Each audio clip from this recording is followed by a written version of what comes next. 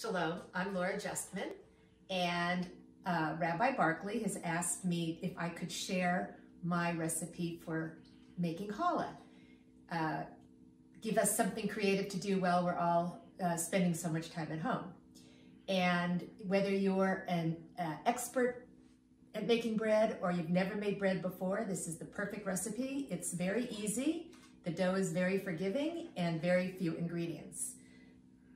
The only equipment you'll need is a stand mixer with a dough hook, or you can use a food processor with the plastic bread hook, uh, blade. If you don't have that, then you just have to use your hands. So the other ingredients are a cup of warm water, two lightly beaten eggs, four tablespoons of vegetable oil, you can use butter if you don't, if you're having a dairy meal. Two tablespoons of salt, I like to use sea salt, and two and a quarter teaspoons of yeast. And four and a half cups of flour. Now, mostly bread flour, which you may have a hard time finding now. But I like to use uh, Red Mill artisan bread flour or King Arthur uh, bread flour. This happens to be all-purpose. I didn't have one that's bread flour, but it'll be in a blue package um, and uh, some kind of sweetener, uh, two tablespoons, three tablespoons of honey or sugar, regular sugar. And a good, a good place to uh, have a warm place for your dough to rise is just in an oven with the uh, light turned on. Just check it to make sure it's not getting too warm. You can turn the light off and, leave, and continue to leave it in the oven to rise. So let's get started. The first thing you'll want to do is add the warm water to whatever bowl you're going to mix it in. Let the, and add the yeast and let it sit for five minutes. After the five minutes, you'll see that it is slightly foaming, and that means the yeast is alive and well. It's exactly what you want to see. Another reason why this recipe is so easy is you just dump everything in at once and let the mixer uh, do its job. As you can see, I've added everything into the bowl and we are going to start mixing. You'll want to start it uh, at on level one or low so the flour doesn't go spraying everywhere and then you can increase it to two.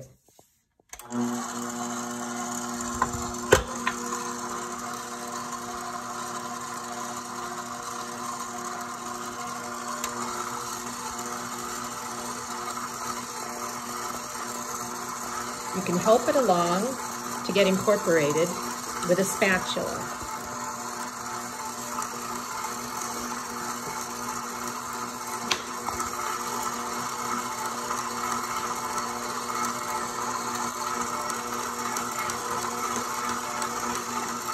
And you can increase it to four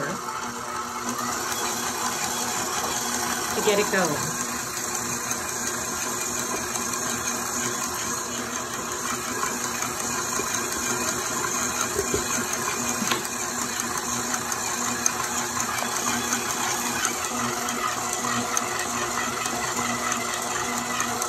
You'll be able to tell the right consistency. If it's too dry, you add more water. If it's too sticky, you'll add a little more flour in small increments.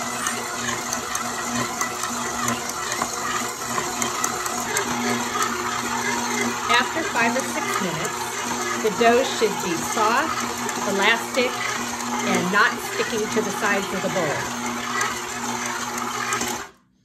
and you'll want it, you can feel how soft and stretchy it is, but not sticky. So at this point, you want to take it out of the machine and put it on the countertop.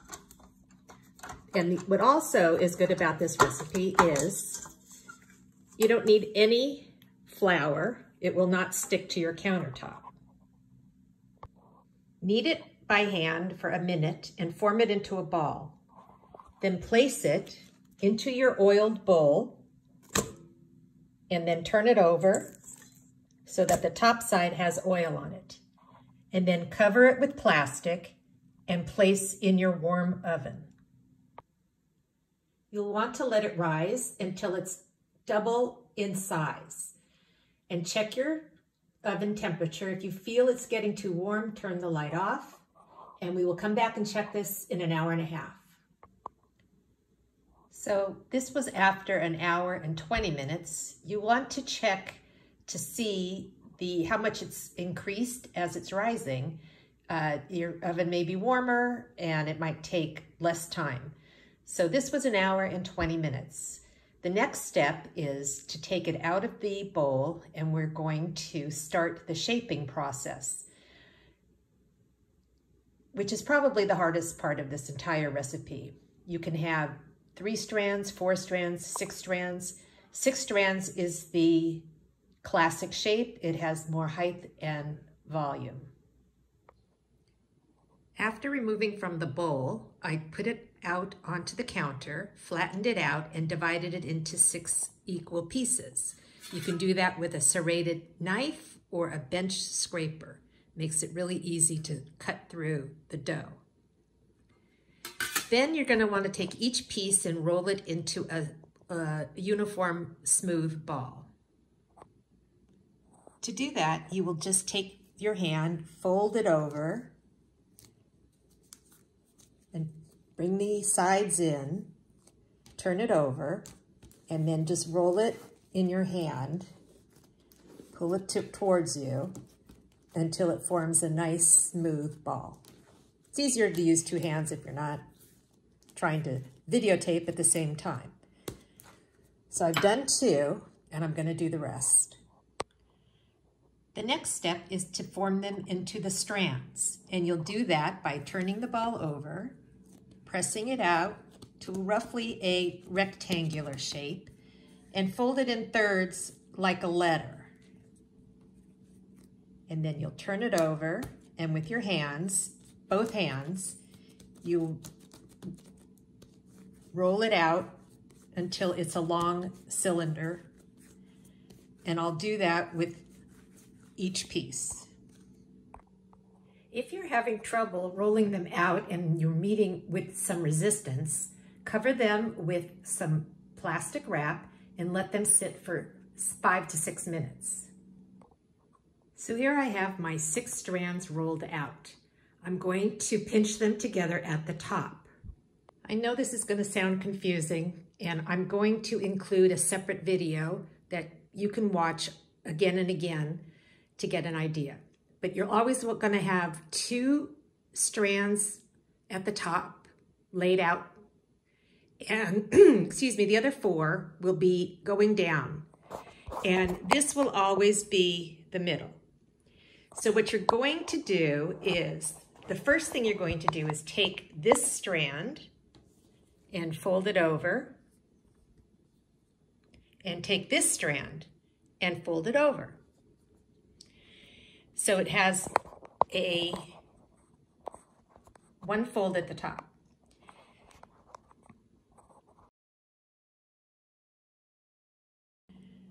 So what you're going to have is always the two pieces that are out to the side and the four in the middle. And you're always going to take the last one, bring it over to the middle, and bring the second to the right over. And now I have my, my two sides again. And you keep doing that, alternating the sides. I'm going to bring this one, put it in the middle, and bring this one to the side. And then this one goes in the middle. And the fourth one goes to the side. I'm sorry, that last one was not really clear, but this is what you end up with. So when you get to this point, you want to take your knife or your bench scraper and cut off the ends. And this end.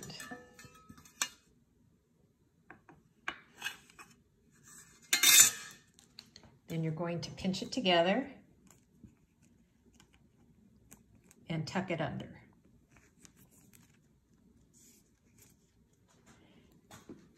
And pinch it together and tuck it under. And then you're just gonna wanna shape the roll, tighten it, pull it together, roll it back and forth until you get a nice tight braid.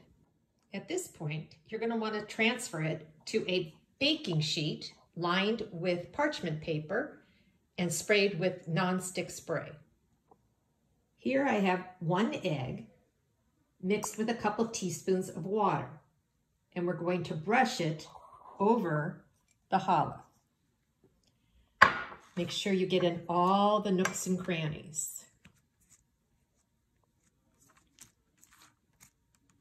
And then we also, we're going to brush it again once it's done, it's through with its final rise. We'll brush it again before we bake it.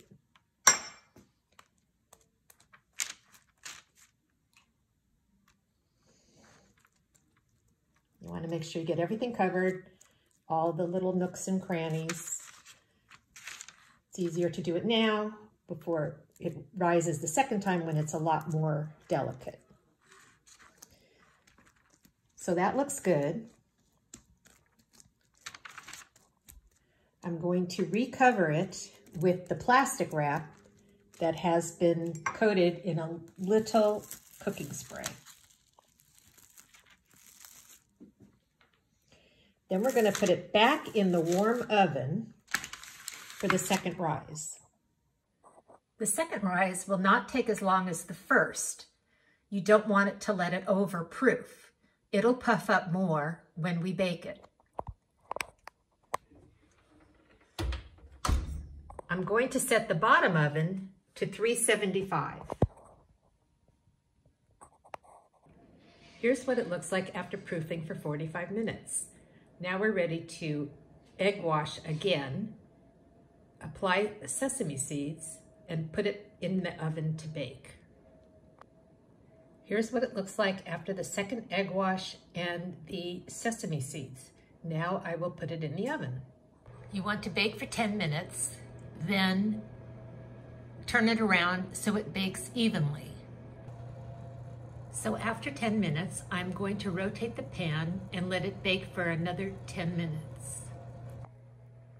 So here's the final product. It baked for ba basically 25 minutes.